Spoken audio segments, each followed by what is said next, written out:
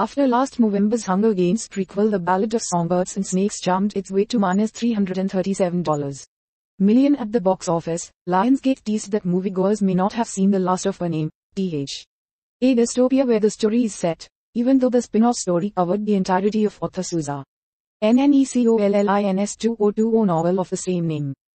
The film opened an endless series of possibilities that Suzanne can go, and that Lionsgate can go with her, Adam Fogelson, chairman of the studio's motion picture group, said at the time.